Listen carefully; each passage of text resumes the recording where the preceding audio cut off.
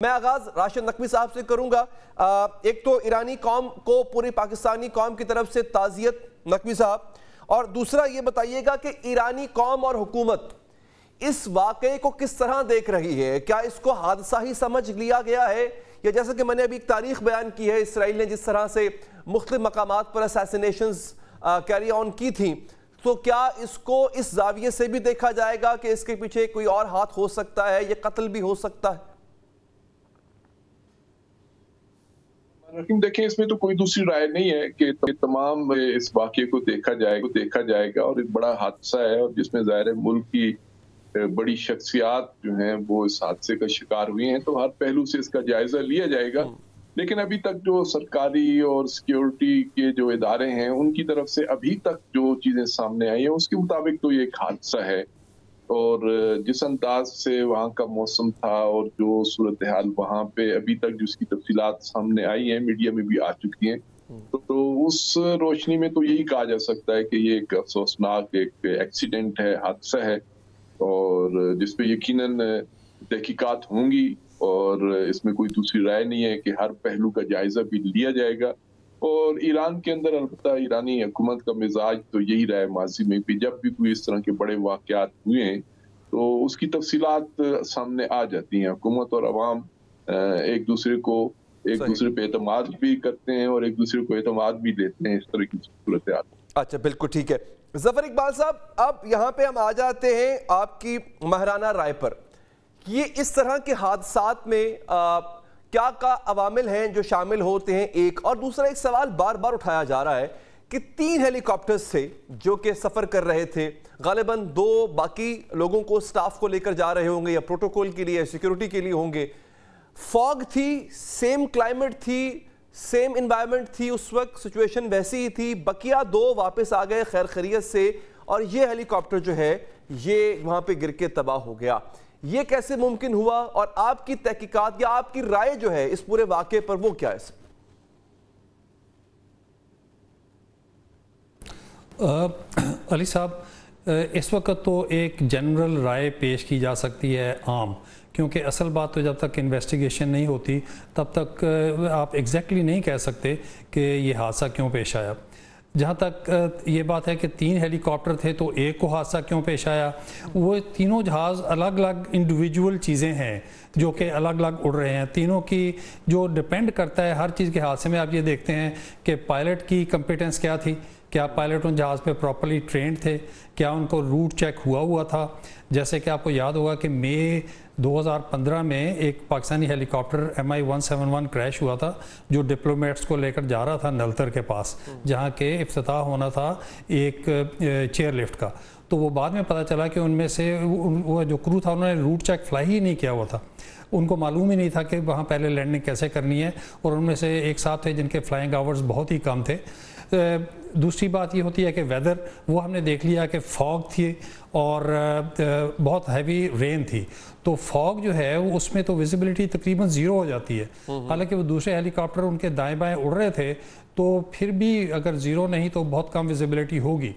तीसरी बात ये देखना कि जहाज़ की उस बुलंदी क्या थी? उस वो जो एरिया था उसकी बुलंदी थी सात हज़ार दो सौ फुट। अच्छा। तो उसके उड़ने के लिए कैलकुलेशन करते हैं जिसमें कि 10 परसेंट हाइट और डालते हैं यानी 720 फुट उसमें 1000 फुट और जमा करते हैं और देखता कि सेफ्टी ऑल्टीट्यूड एक निकलता है।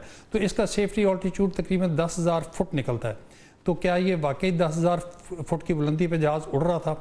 तीसरी चीज़ क्या होती है कि जहाज़ की अपनी मेंटेनेंस कैसी थी? अब हम्म। ये जहाज़ जो है ये 1960 के बने हुए जहाज़ थे। अच्छा। बेल टू वन टू जो कि वियतनाम जहाज़ जब वियतनाम जंग हो रही थी तो उसमें ये जहाज़ उड़ा करते थे। अब चूँकि अमेरिका ने पाबंदी लगाई हुई है पुर्ज़ों के जो स्पेयर पार्ट ज़रा पाकिस्तान पर पाबंदी लगा देते हैं तो क्या ये जहाज़ के सारे पुर्जे हालाँकि वीआईपी जहाज़ था तो क्या वक्त पे चेंज होते रहे? क्या इसका ऑयल हर चीज़ फिल्टर्स हम्म, वक्त पे चेंज हम्म, हम्म। हुई हुई थी अच्छा क्या इतने पुराने जहाज़ कि ग्राउंड कर दिया जाता है सर नॉर्मली या इतना पुराना जहाज़ उड़ने के काबिल होता है अगर उसके पर पुर्जे चेंज होते रहे तो जी वो तो उड़ने के काबिल रहता है क्योंकि अच्छा। जहाज़ जो है ना वो कोई बर्गर की तरह नहीं जिसको क्या आपने फ्रिज में रख दिया तो दो दिन के बाद वो ख़राब हो जाएगा हम्म। जहाज़ के अगर आप चीज़ें स्पेयर पार्ट्स चेंज करते रहें तो वो फ्लाइबल रहता है इस कंडीशन में रहता है कि उड़ता रहे। बहुत सारे जहाज़ हमारे प्रेसिडेंट्स वगैरह बोइंग सेवन और सेवन में उड़ा करते थे जो पाकिस्तान एयरफोर्स के पास था पहले पीआईए का। क्योंकि उसकी मेंटेनेंस ठीक रहती थी वो जहाज़ उड़ते रहते थे। तो ये कोई प्रॉब्लम नहीं है। लेकिन ये प्रॉब्लम हो सकता है कि पायलट की कंपिटेंस वो इंक्वायरी चेक करेगी। उस वक्त एग्जैक्ट विजिबिलिटी क्या थी? और एक जो बहुत अहम चीज़ जो आमतौर पे लोगों को नज़र नहीं आती उसको कहते हैं ऑल्टीमीटर सेटिंग अच्छा। कि जब जो ऑल्टीमीटर जहाज़ टेक ऑफ़ करता है तो मौसम की वजह से जो ऑल्टीमीटर है उसके अंदर एक बैरो बेसिकली ये क्या होता है बैरोमीटर होता है अच्छा। कि जो प्रेशर होता है आउटसाइड उसको वो ट्रांसलेट करता है ऑल्टीट्यूड कि जहाज़ अबव दी ग्राउंड लेवल या above the mean sea level कितना उड़ रहा है। तो जब टेक ऑफ़ करते हैं तो उसको एग्जैक्ट जो लोकल एरिया होता है, उसके मुताबिक उसको सेट करते हैं तो वो ऑल्टीट्यूड शो करता है। जब वो रीजन में चला जाता है तो 2992 मिली बार्स वो उसको सेट करते हैं तो वो एक यूनिफॉर्म तरीके से फ्लाई करता है। तो अगर तो इस हेलीकॉप्टर का ऑल्टीमीटर सही सेटिंग थी तो फिर वो तीनों हेलीकॉप्टर बराबर के उड़ रहे होंगे। अगर वो बराबर नहीं उड़ रहे और किसी वजह से वो सेटिंग ठीक नहीं हुई है ऑल्टीमीटर की तो एन मुमकिन है कि दस हज़ार फुट की बुलंदी पे हेलीकॉप्टर उड़ने के बजाय नीचे उड़ रहा हूँ। जैसे कि मैं एक आपको एक वाक़ याद कराता हूँ बहुत पुराना 1960s का। पाकिस्तान से एक अमरीकी जहाज़ उड़ा करता था यू टू। जो कि रिकॉनसेंस एयरक्राफ्ट था और वो टेक ऑफ़ करके रूस के ऊपर उड़ता था अस्सी हज़ार फुट की बुलंदी पे और उसके बाद वो इंजन बंद करके तो नीचे साठ हज़ार फुट तक आ जाता था। तो जो अब ये थेरी है पता नहीं दुरुस्त है कि नहीं कि रूसियों ने किसी से मिल मिला के उस जहाज़ का हेलीकॉप्टर उसका जो अल्टीमीटर था जो बुलंदी शो करता है उसको चेंज कर दिया। अच्छा। तो जिस दिन फ़र्स्ट मे को 1960 को वो जो जहाज़ था जब रूस में दाखिल हुआ तो वो उसको तो 80,000 नज़र आ रहा था लेकिन एक्चुअली वो बहुत लो था। उससे कोई दस हज़ार फुट नीचे था। तो वो नीचे आते आते उसने समझा मैं सिक्सटी थाउज़ेंड पे आ गया हूँ। तो वो एक्चुअली फिफ्टी थाउज़ेंड पे था। तो उसको रशियंस ने तीन मिसाइल मारे जो उसके साइड पे आके एक्सप्लोड हुए और वो जहाज़ नीचे गिर गया। तो उन्होंने फ्रांसिस गैरी पावर्स पायलट को पकड़ लिया। अब so, exactly... सेटिंग जो है वो बहुत कहने को बहुत माइनर चीज़ है लेकिन वो बहुत अहम चीज़ है। मैं सर एग्जैक्टली exactly इसी पे आ रहा था। आपने कहा कि अल्टीमीटर टेम्पर अगर हो जाए तो फिर वो गलत रीडिंग दे सकता है अल्टीट्यूड की। बहुत इंपॉर्टेंट बात आपने की। अब ये जो हम देखते हैं कि इसमें हाँ। एक साजिश का आंसर भी है। हाँ। क्योंकि माजी में भी हमने देखा है जनरल जयाउलक साहब का जो तैयारा गिरा था उसमें भी साजिश का आंसर जो है वो लोग ढूंढ रहे होते हैं या फिर शक है कि साजिश हो सकती है। अब सर क्या ये पॉसिबल है कि कोई दुश्मन मुल्क इस तरह से इस हेलीकॉप्टर को जो इतना पुराना भी है न जाने उसकी मेंटेनेंस हुई या नहीं हुई कि इसको वो क्या इसराइल जैसा मुल्क इसके अल्टीमेटर को टेम्पर कर सकता है या किसी और तरीके से इसको गिरा सकता है सर जैसे ये तैयारा गिरा बिल्कुल ये एक पॉसिबिलिटी है।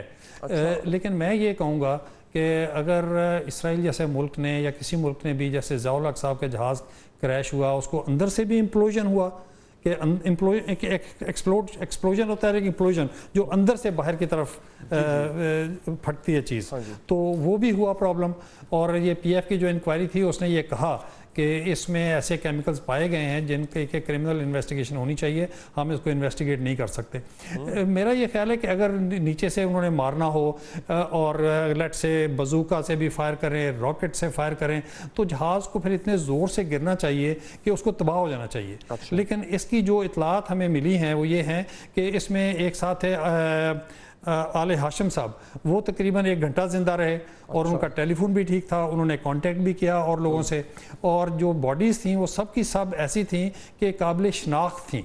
तो इसलिए ये नहीं महसूस होता कि इसको किसी एक्सप्लोजिव चीज़ से हिट किया हो। हम्म, ये एन हम्म। मुमकिन है कि वो कहीं बहुत स्लो स्पीड पे उसने उसका कोई कैसे फेलियर हुआ हो या कोई ऐसा मसला हुआ हो कि उसने सोचा हो कि मैं फ़ौरन इंजन को लैंड कर जाऊँ तो और इतना उसको टाइम ना मिला हो।